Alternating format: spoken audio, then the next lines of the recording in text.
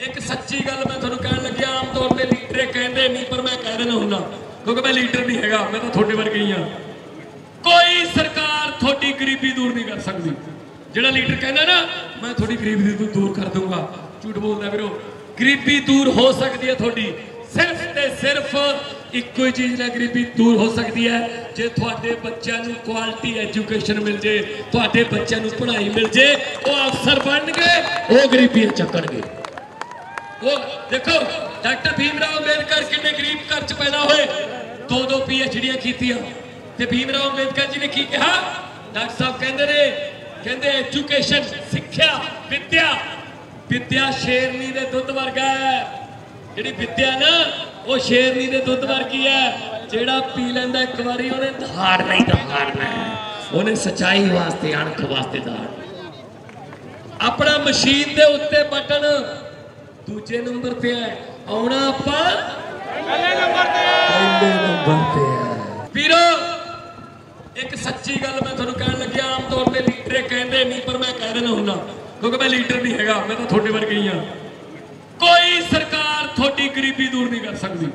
ਜਿਹੜਾ ਲੀਡਰ ਕਹਿੰਦਾ ਨਾ ਮੈਂ ਤੁਹਾਡੀ ਗਰੀਬੀ ਦੂਰ ਦੂਰ ਕਰ ਦੂੰਗਾ ਝੂਠ ਬੋਲਦਾ ਵੀਰੋ ਗਰੀਬੀ ਦੂਰ ਹੋ ਸਕਦੀ ਹੈ ਤੁਹਾਡੀ ਸਿਰਫ ਤੇ ਸਿਰਫ ਇੱਕੋ ਹੀ ਚੀਜ਼ ਨਾਲ ਗਰੀਬੀ ਦੂਰ ਹੋ ਸਕਦੀ ਹੈ, ਜੇ ਤੁਹਾਡੇ ਬੱਚਿਆਂ ਨੂੰ ਕੁਆਲਿਟੀ ਐਜੂਕੇਸ਼ਨ ਮਿਲ ਜੇ, ਤੁਹਾਡੇ ਬੱਚਿਆਂ ਨੂੰ ਪੜ੍ਹਾਈ ਮਿਲ ਜੇ, ਉਹ ਅਫਸਰ ਬਣਨਗੇ ਉਹ ਗਰੀਬੀਆਂ ਚੱਕਣਗੇ।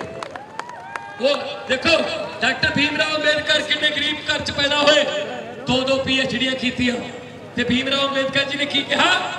ਡਾਕਟਰ ਸਾਹਿਬ ਕਹਿੰਦੇ ਨੇ, ਕਹਿੰਦੇ ਐਜੂਕੇਸ਼ਨ ਸਿੱਖਿਆ, ਵਿਦਿਆ। ਵਿਦਿਆ ਸ਼ੇਰਨੀ ਦੇ ਦੁੱਧ ਵਰਗਾ ਹੈ। ਜਿਹੜੀ ਵਿਦਿਆ ਨਾ ਉਹ ਸ਼ੇਰਨੀ ਦੇ ਦੁੱਧ ਵਰਗੀ ਹੈ ਜਿਹੜਾ ਪੀ ਲੈਂਦਾ ਇੱਕ ਵਾਰੀ ਉਹਨੇ ਧਾਰ ਨਹੀਂ ਧਾਰਨਾ ਉਹਨੇ ਸਚਾਈ ਵਾਸਤੇ ਅਣਖ ਵਾਸਤੇ ਧਾਰ। ਆਪਣਾ ਮਸ਼ੀਨ ਦੇ ਉੱਤੇ ਬਟਨ ਦੂਜੇ ਨੰਬਰ ਤੇ ਹੈ। ਆਉਣਾ ਆਪਾਂ ਪਹਿਲੇ ਨੰਬਰ ਤੇ ਪਹਿਲੇ ਨੰਬਰ ਤੇ ਹੈ। ਵੀਰੋ ਇੱਕ ਸੱਚੀ ਗੱਲ ਮੈਂ ਤੁਹਾਨੂੰ ਕਹਿਣ ਲੱਗਿਆ ਆਮ ਤੌਰ ਤੇ ਲੀਡਰ ਕਹਿੰਦੇ ਨਹੀਂ ਪਰ ਮੈਂ ਕਹਿ ਦੇਣਾ ਹੁੰਦਾ। ਕਿਉਂਕਿ ਮੈਂ ਲੀਡਰ ਨਹੀਂ ਹੈਗਾ ਮੈਂ ਤਾਂ ਤੁਹਾਡੇ ਵਰਗਾ ਹੀ ਆ ਕੋਈ ਸਰਕਾਰ ਤੁਹਾਡੀ ਗਰੀਬੀ ਦੂਰ ਨਹੀਂ ਕਰ ਸਕਦੀ ਜਿਹੜਾ ਲੀਡਰ ਕਹਿੰਦਾ ਨਾ, ਮੈਂ ਤੁਹਾਡੀ ਗਰੀਬੀ ਦੂਰ ਦੂਰ ਕਰ ਦੂੰਗਾ ਝੂਠ ਬੋਲਦਾ ਵੀਰੋ। ਗਰੀਬੀ ਦੂਰ ਹੋ ਸਕਦੀ ਹੈ ਤੁਹਾਡੀ। ਸਿਰਫ ਤੇ ਸਿਰਫ ਇੱਕੋ ਹੀ ਚੀਜ਼ ਨਾਲ ਗਰੀਬੀ ਦੂਰ ਹੋ ਸਕਦੀ ਹੈ, ਜੇ ਤੁਹਾਡੇ ਬੱਚਿਆਂ ਨੂੰ ਕੁਆਲਿਟੀ ਐਜੂਕੇਸ਼ਨ ਮਿਲ ਜੇ, ਤੁਹਾਡੇ ਬੱਚਿਆਂ ਨੂੰ ਪੜ੍ਹਾਈ ਮਿਲ ਜੇ, ਉਹ ਅਫਸਰ ਬਣਨਗੇ ਉਹ ਗਰੀਬੀਆਂ ਚੱਕਣਗੇ।